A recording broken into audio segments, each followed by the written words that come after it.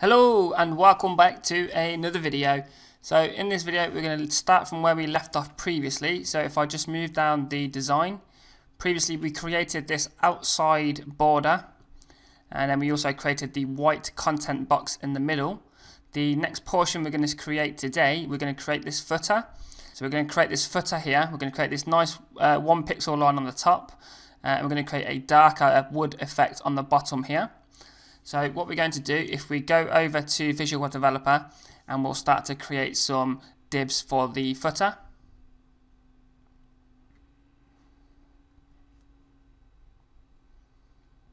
So if we just move down the document to the very bottom, we're going to want to create the footer on the outside of the page wrap. Uh, because the page wrap is centering the main content and if you the, the footer needs to stretch across the whole screen 100%. So down here, we're going to create the following. So we're going to say div ID, and we're going to call this footer wrap. And we'll close off as usual and create our comment. So footer wrap.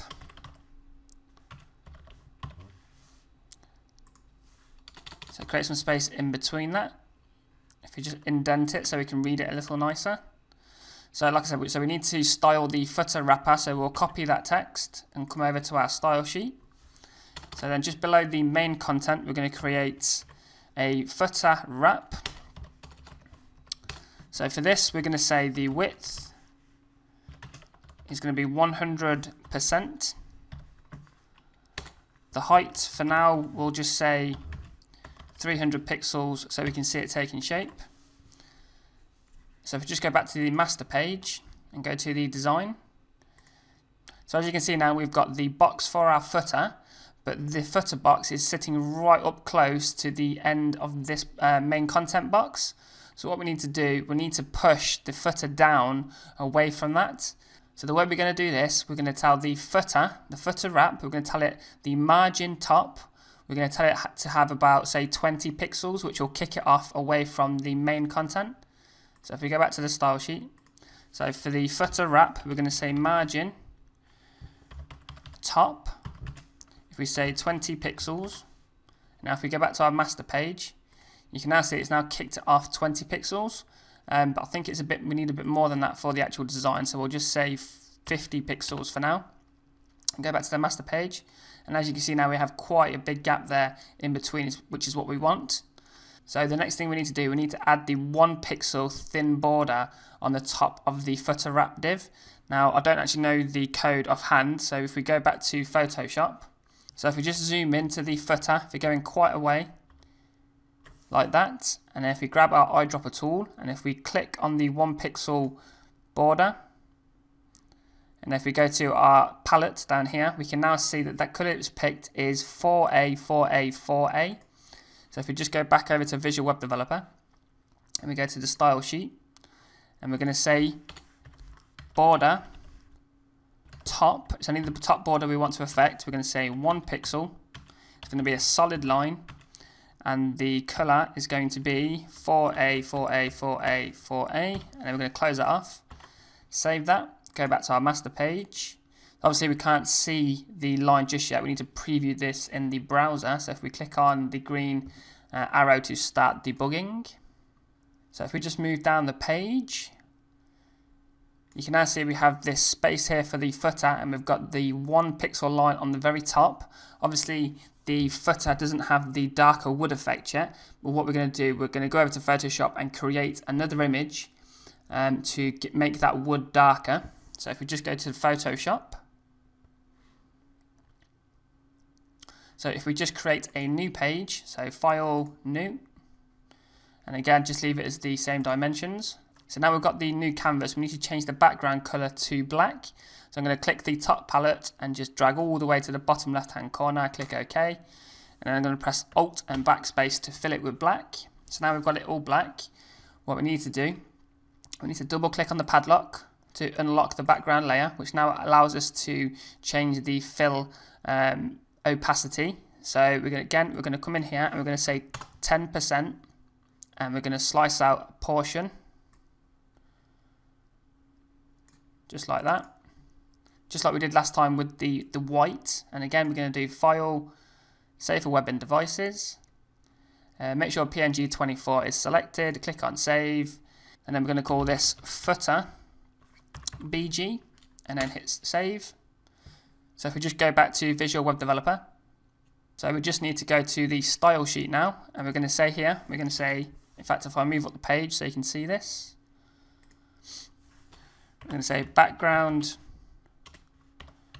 image, I'm going to say URL, two brackets, close it off, and then we're going to say go back a folder, into the images folder, select footerbg.png, save that, and if you just open up your browser, and if you hit the refresh key, so you can see the wood has gone a bit darker, but we need to bring up the opacity a bit more. So if we just jump back over to Photoshop, and then in the fill down here, we'll say 20% instead.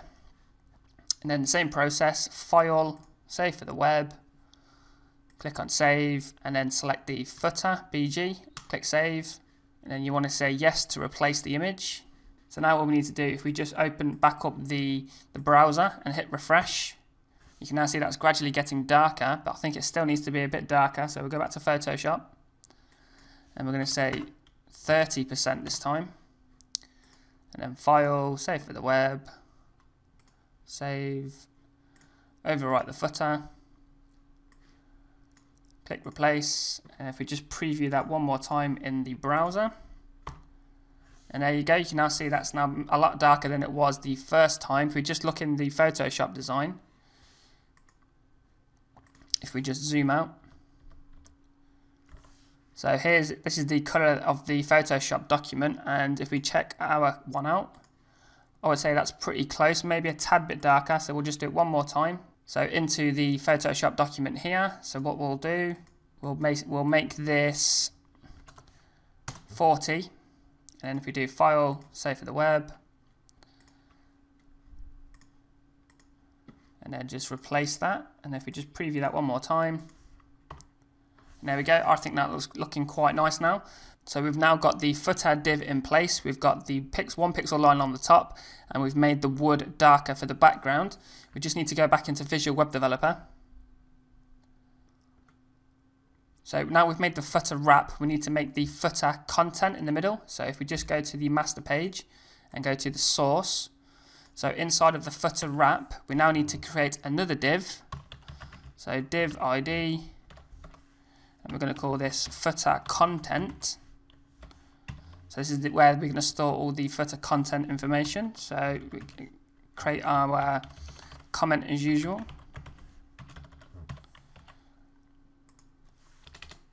Okay, so we need to style this footer content like so. Go to the style sheet. So the width for this is going to be 850 pixels, the same as what we used previously. The height, again, I'm just going to put this in just so we can see it taking shape. We'll change all these back to auto later.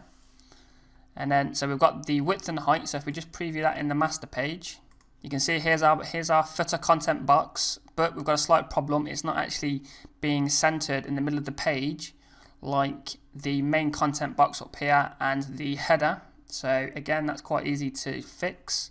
Go to the style sheet and we're going to say margin zero auto and that is it that's going to center it now in the page so if we go back you can now see that is in the middle of the page the same as everything else so what I'm going to do, I'm going to leave the video here for now, and uh, try and create some more videos as soon as I can.